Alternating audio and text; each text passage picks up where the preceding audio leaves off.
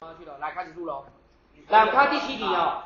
第七题题目说什么东西呢？他说 A、B 在那个竖线上面两个点，分别代表十二跟负六，请问你 A、B 的距离是多少？好，这个题目啊其实不难，但它是基本题，你要会。我们看怎么做这个题目，来画竖线，又是画竖线，对，都画都一直画而已。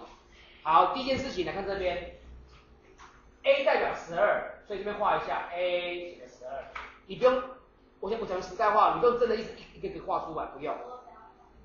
好，再看这个 B，B 是多少？B 是负六。好，我要讲重点是什么东西，你知道吗？题目说 A、B 的距离，来看这边，我们又这样写。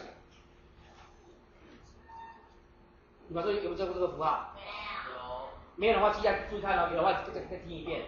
这边指的是说 A、B 上面一条线叫做线段 AB，或者念成 AB 线段。那它的意思指的是说 A 到 B 的距离是多少？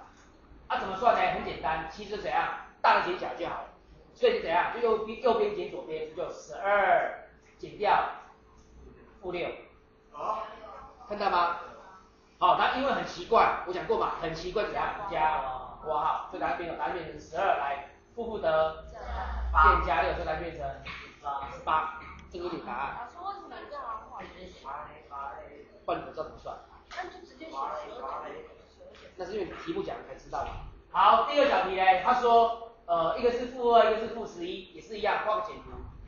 来，负二在这边，负十一在这边，所以请问你距离多少？距离一样是大的减小，对不对？所以就负二减负十一，然后很奇怪加括号，这边搞变成了负二加十一。请问你负二加十一是多少？九，所以答就等于九。好，这个你把它写上去。